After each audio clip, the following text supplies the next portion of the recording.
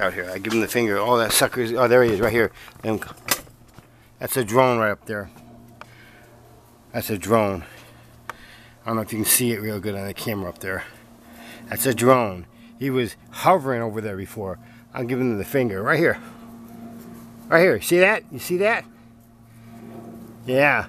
That's what you guys get for spying, you shit. See if it comes over this way. That's a drone that was over field off to the west of us. It's coming over the house now. Right there, you see that? You see that? Yep, it's a drone. So I'm flipping them off.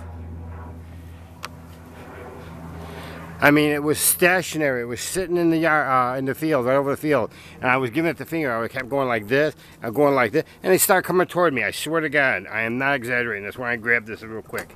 I should have brought this out to begin with, but that's your drones. That was a drone. These pricks out here in the United States, you are no longer a free person. I hope to God you realize that now. What time is it? 6.10, 6.10 p.m. It's uh, the 30th of uh, January, Saturday.